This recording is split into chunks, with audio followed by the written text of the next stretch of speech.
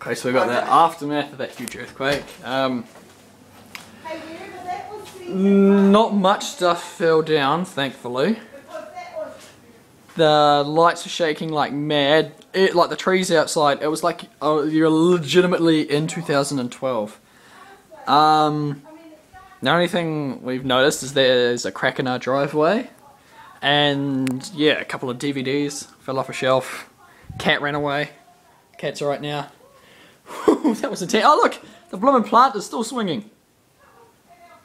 Wow, that that is insane. Mum is buzzing. She's buzzing. Dad was outside. He doesn't even know it happened.